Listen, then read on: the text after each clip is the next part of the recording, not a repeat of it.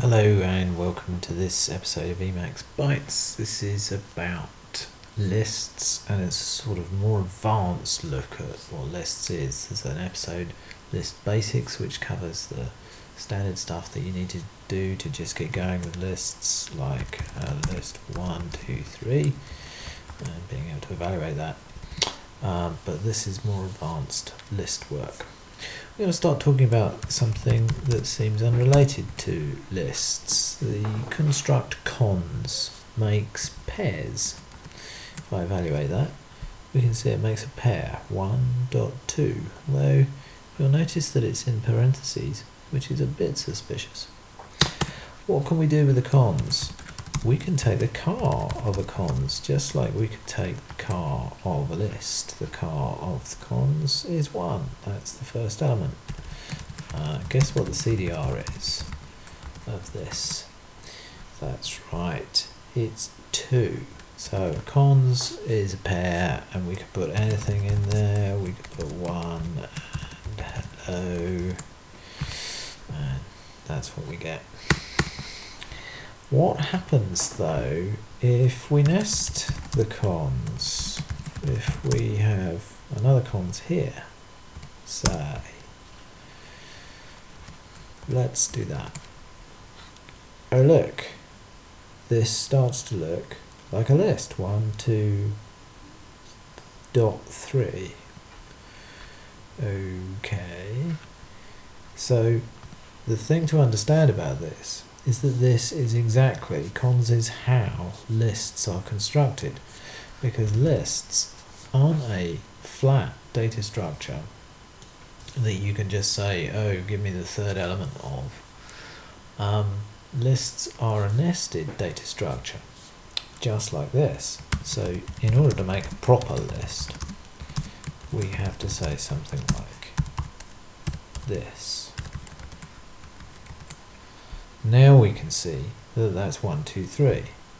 If I take the car of that list, we can see that that's 1. If I take the CDR of that list, we can see that that's 2, 3. If I take the CDDR of that list, we can see that that's 3. If I take the CADDR of that list, it fails.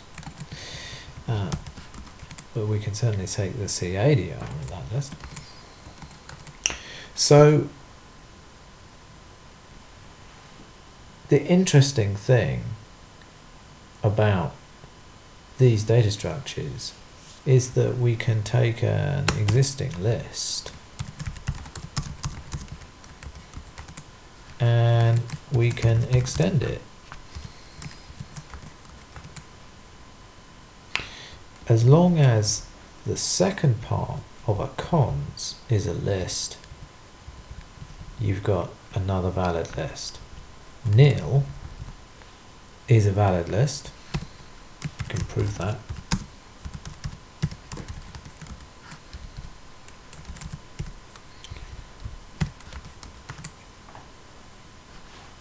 T here means that's a valid list.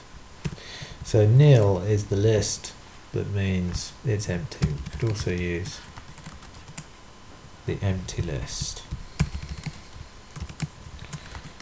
So as long as the end of a cons is a cons or a list, we're good. That's fantastically useful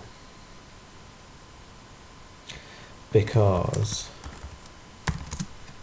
if we take a list one, two, three, four, five, so now we've got L and that's one, two, three, four, five.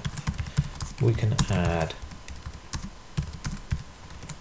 another list. We can create a completely new list. Now this there's a list 10, 3, 4, 5. Has that altered L? No, L remains 1, 2, 3, 4, 5. That's a really important concept about lists because that's what makes the functional nature of Lisp. The fact that we've got a data structure that we don't have to mutate in order to add more elements to it or even create a new list with elements taken away.